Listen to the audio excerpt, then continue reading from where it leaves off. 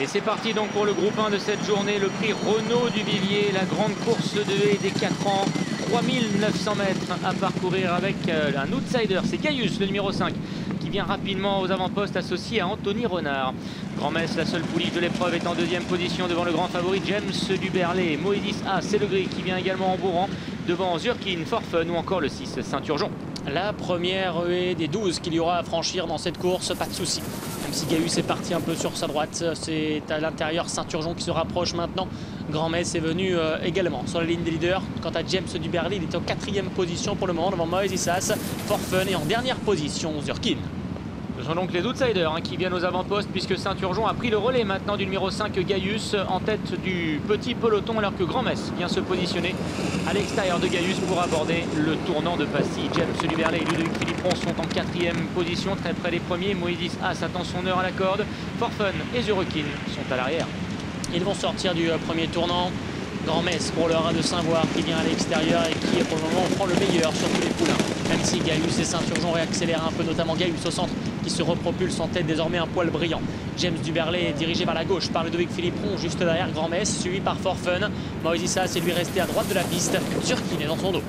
Peloton scindé en deux avec euh, resté à l'intérieur euh, le numéro 6 Saint-Urgeon tout comme Gaius et Moïdis As. À l'inverse, Grand-Messe est à l'extérieur devant le favori James Luberlet avec également Forfun hein, qui euh, suit cette progression et Zurkin qui est toujours à l'arrière.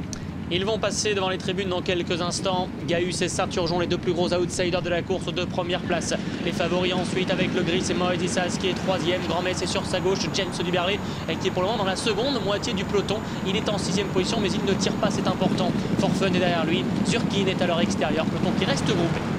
Peloton groupé donc qui aborde le dernier tour. Il passe devant les tribunes sous l'impulsion du numéro 6, Saint-Urgeon. Caius revient à sa hauteur. Grand-Messe, la seule pouliche de l'épreuve, est en troisième position devant les deux favoris de cette épreuve. Moïse As, le gris. Et le grand favori, c'est James Luberlet qui attend son heure derrière les animateurs. Zurkin est toujours à l'arrière-garde, en compagnie également du numéro 1, Forfun. James Duberlet qui a un peu accroché cet obstacle. Il est rare de retrouver James Duberlet euh, si loin dans un peloton, même si évidemment il y a peu d'unités, il n'est pas si loin que cela de la tête de course. Et Ludovic Philippon le rapproche d'ailleurs à l'instant. Toujours les mêmes aux avant-postes, le trio formé de Grand-Messe, de Saint-Urgeon et de Gaius. James Luberlet revenu maintenant en quatrième position, débordant à l'instant Moïse Sass, avec ensuite Forfun qui côté corde. Et en dernière position, James Luberlet toujours avec Surkin. Grand-Messe qui accélère et qui vient à l'intérieur de Saint-Urgeon pour lui prendre l'avantage alors qu'il se dirige maintenant vers la ligne opposée. James Luberlet s'est rapproché il va tenter maintenant d'accélérer comme il fait souvent d'ailleurs pour aborder la ligne opposée. Gaius vient complètement en dehors devant Zurkin alors que Moïse ah, c'est à l'arrière. Il est resté côté corne en compagnie de l'As for Fun. Premier relais de la ligne opposée. Grand Metz, Saint-Urgeon, Gaius sur une qui voyage très bien, quatrième. James Duberlet, le grand favori, est sur sa gauche. Zurkin est allé tout à fait en dehors, profiter du meilleur terrain peut-être avec James Rivley, Forfun et Kevin Nabé son dernier, mais au contact des leaders qui sont toujours Grand Metz, Saint-Urgeon et Gaius. Peloton encore très groupé. Grand Metz qui a le meilleur. Saint-Urgeon en deuxième position. Nouvelle hésitation de James Luberlet. Moïse As lui a bien franchi cette nouvelle difficulté. À l'extérieur, il y a toujours Gaius qui emmène d'ailleurs Zurkin sur son porte-bagages. Alors qu'en dernière position, patiente toujours Las for Fun. Nouvelle haie dans la ligne opposée. Toujours la pouliche Grand Metz en tête avec en deuxième position Saint-Urgeon. C'est au tour de Moïse As d'avoir un tout petit peu accroché cette haie. En dehors, il y a toujours Gaius et Zurkin qui font bande à part avec un Zurkin qui semble accélérer maintenant. Et Forfun derrière. James Duberlet se fait oublier en dernière position.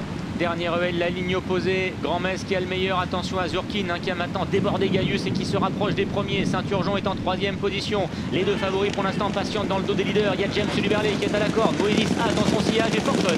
L'entrée du tournant final. Gaius est le premier à donner des signes de lassitude. Il est battu dans le tournant final. Grand Metz, elle a pris les commandes. Dans son sillage, il y a toujours James Luberlet. Saint-Urgeon qui essaie de s'accrocher. Zurkin qui vient en dehors est en troisième position, accélérant encore. Moïse qui patiente. Forfun qui vient à la hutte va être magnifique à l'entrée de la ligne d'arrivée. L'explication maintenant avoir lieu entre les favoris, entre les meilleurs, avec James Luberlet maintenant qui accélère devant Moïse As qui vient à son extérieur. Forfun lui a plongé à l'intérieur alors que Grand Metz est resté à l'extérieur et Zurkin également qui progresse en dehors. Direction la dernière difficulté, Moïse As et James Luberlet sur une même ligne avec Saint-Urgeon incroyable à ce niveau qui est troisième devant Forfun. Moïse As qui vient maintenant de prendre un léger ascendant sur James Luberlet mais qui doit sauter la dernière. Il n'est pas parti Moïse As, il est resté le postérieur dans l'obstacle et James Luberlet ainsi retrouve ses couleurs. James Luberlet qui revient attaquer un Moïse As très courageux, incroyable Qui vient lutter également devant Forfun. James Solidarly, Moïse Issas, les deux meilleurs 4 ans en France qui s'affrontent jusqu'au bout. Moïse Issas, James Solidarly, Moïse Issas devant James Solidarly qui repart à la corde sur le poteau. Moïse Issas peut-être avec James Solidarly à son intérieur. Une lutte incroyable dans le prix Renaud Duvier, édition 2020. La troisième place pour un bluffant Saint-Urgent.